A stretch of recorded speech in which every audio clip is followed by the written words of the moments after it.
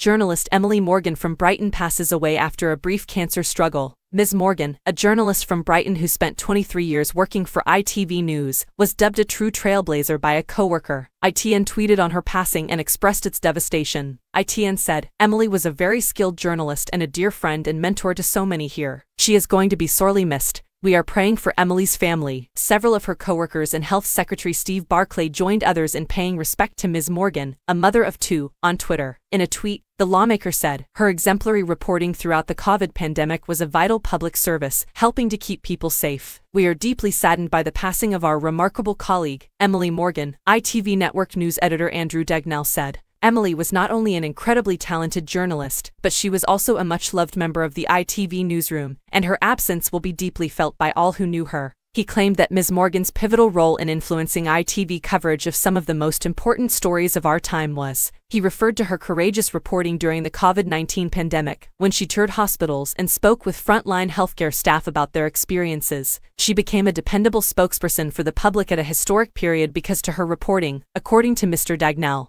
her reporting was instrumental in exposing the immense pressure and strain that NHS workers were under.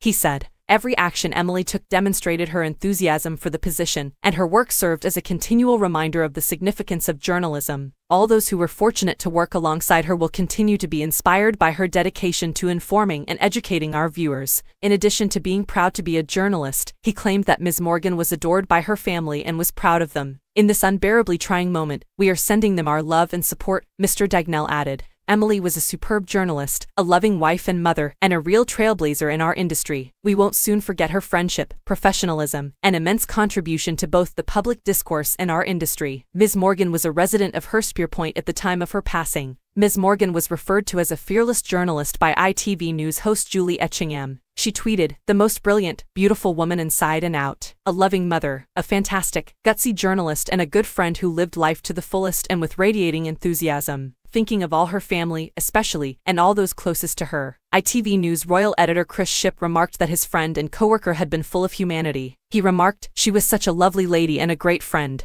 Emily was bold in reporting COVID to the health editor, The Nation in 2020, talented, kind, full of humanity.